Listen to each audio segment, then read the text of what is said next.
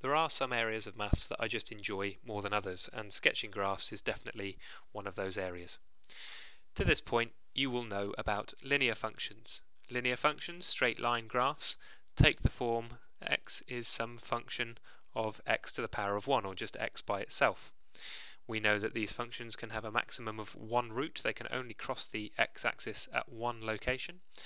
We also know that as x gets very, very large, if x tends to infinity, then the y value will also tend to infinity.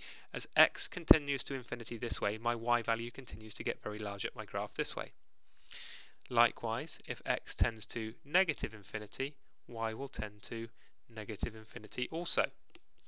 We know if we move our x value very far down here, I'm going to get a very large negative y value. This might be something that you haven't seen previously, but we'll come on to it more in detail later on. Quadratic graphs. Now, quadratic graphs can have a maximum of two roots. That would look much nicer. And they can have two roots because their general function is of the form x squared. Now here if I'm to perform the same analysis, if x tends to a very large positive number, then y will tend to a very large positive number. Now if I take x tending to a very large negative number, we know that when we multiply a negative by a negative, we will end up with a positive, so y will also tend towards a very large positive value, which is why I end up with this nice symmetry. What happens for cubic functions? Well, cubic functions are of the form x cubed. That tells us that we could have a maximum of three roots. Let's do some analysis about what happens at the tail ends. Now as x gets very large and positive, y will get very large and positive. Now what happens if I cube a negative number? Well, actually, it remains negative. So if x becomes, if x tends towards negative infinity, y will also tend towards negative infinity. How do I use this information? Well, initially, if x gets very large and positive, y will be very large and positive. So I know my graph is somewhere up here. If x is very large and negative, y will also be very large and negative, telling me that my graph is somewhere here. Now I have a dot to dot, and I can simply join the points together and end up with a cubic function. Quartic functions are the next one up. So we would then be looking at graphs of the form x to the power of 4. Again, performing the same sort of analysis. As x gets very large, y will also get very large. As x gets very large and negative, in a similar way to my other even function, x squared, the y value will still be positive. So what should this look like? Well, I know I'm going to get positive values at either end. I can have a maximum this time of four roots and it's just a case of joining the dots together. So here I have a quartic function. After quartic we could talk about quintic functions. They would again be odd. It would be an odd power that I'd be dealing with here. So they would have a similar form to our cubic equation above and so on and so on and so on. So these are our general forms of cubic functions. This is a cubic. It doesn't look like a wobbly cubic. That's because it's got a repeated root here. The root is at 0 three times over, and that actually becomes a point of inflection. So wherever we have something raised to the power 3, it will give us this point of inflection, which tells me that I start above the graph and finish below. Here, I have a negative x cubed graph. Again, we should know this basic form. And again, I've got a point of inflection because I've got this repeated root three times at zero. So how do we sketch these things? Well, the easiest way to sketch a cubic graph is when you can see the roots clearly. So from this, I can ascertain my roots are going to be at x is equal to minus 1, at x is equal to 2, and at x is equal to 4. So immediately, I can draw out my x-axis and think, right, let's think of setting this out nicely. So there's the point 2, there's the point 4, keeping these things roughly in scale. There's my point, negative 1.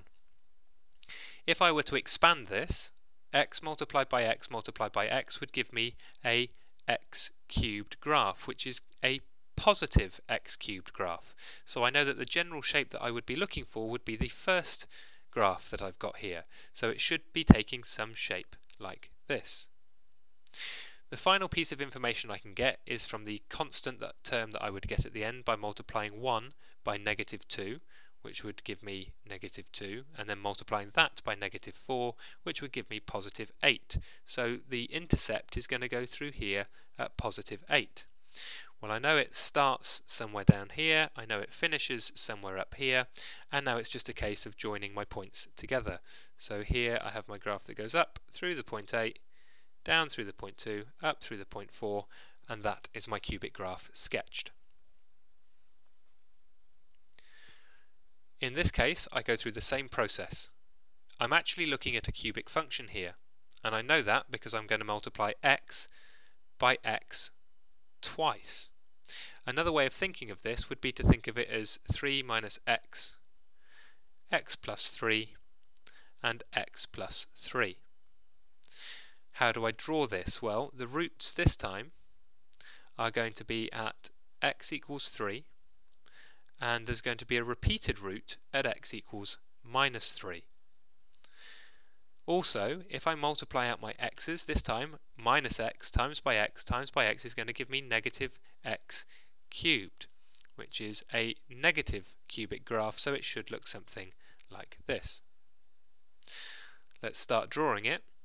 So I know I'm going to go through the point here at 3, I know I'm going to go through the point here at minus 3, Let's think about the intercept. 3 times 3 times 3 would give me positive 27, so I know that I've got an intercept up here at 27.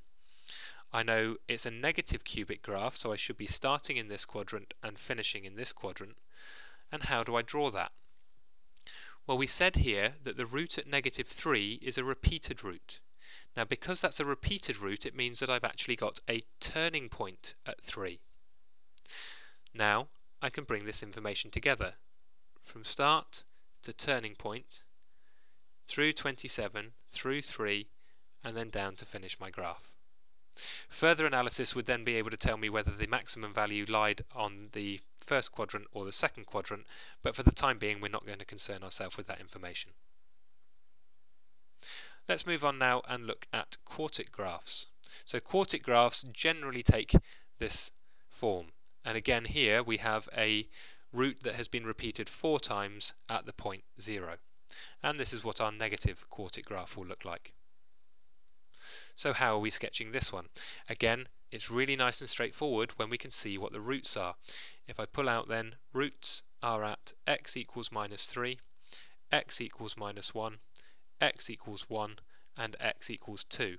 Now I can draw my graph in and think, right, here's my point at 1, here's my point at 2, those are roots, I've got a point here at minus 1, and I've got a point here at minus 3.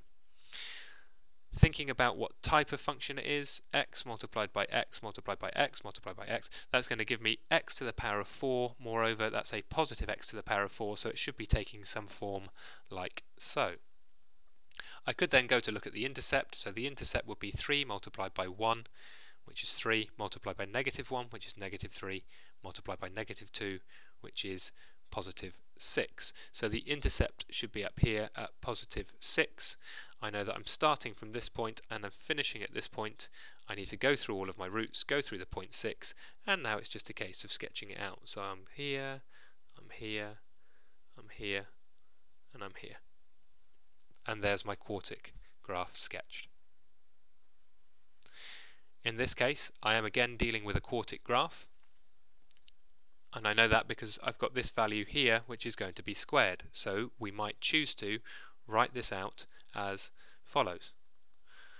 X plus 3 x plus 3 so there's no mistaking that I've got this repeated root at x plus 3 so where are my roots? My roots are going to be at x equals 2 x equals negative 1 and x equals negative 3. Now this becomes a repeated root and we know from before that a repeated root is either going to be a little maximum above the line or a little minimum below the line. If I expanded the x's I would have here a negative x to the power of 4 graph. So that would have this general shape. Now it's just a case of bringing all of that information together. So my roots are here at negative 3 here at negative 1, here at positive 2, Uh, I haven't yet found the intercept, which would be 3 times 3, which is 9, times 1, which is 9, times 2, which is 18. So that gives me the point here. I know that I'm starting from this point. I know that I'm finishing from this point because it's a negative x to the power of 4 graph. And the final piece of information that I need to use is the fact that the root at minus 3 is repeated. Now if I'm attacking this from below, it means that my turning is going to be below the axis. So what does this graph look like? Well, this time I'm going to come up, down, up, down, and complete. And there I have another quartic graph. In this case, I'm dealing with yet another quartic graph. This time I've got a cubed root, so it's repeated three times and we know that this gives us a point of inflection. Now a point of inflection, just like on our cubic graphs, is going to slide straight through the axis. So how do we draw this? Well, we can think of this as x plus 3, x minus 2, x minus 2, x minus 2. The roots would be at x is equal to negative 3 and x is equal to 2 would be, sorry, x is equal to positive 2 would be our repeated root three times over. That would be where our point of inflection was. It's a positive x, uh, x quartic x to the power of 4 graph, so we know that the general function is going to look something like this, and that's enough information to get me started. So I've got a root here at negative 3. I've got the point of inflection here at 2 I know that I'm starting from this point, I'm finishing at this point. I can also work out the intercept, negative 2 times negative 2 times negative 2 is negative 8, times 3 is going to be negative 24, so the intercept is going to be somewhere at negative 24. And we finally have this point of inflection. Now the point of inflection is the last one that I've reached, so it's going to slide through my axis like so and it is important that we put this kink in it. Now I'm ready to draw my function, so I'm coming down through my point of inflection, up through my root at 3, and then that finishes my graph. My final advice would be to use the links in the description below to have a look at some GeoGebra files that I've created so that you can play around with these functions and understand them a bit more.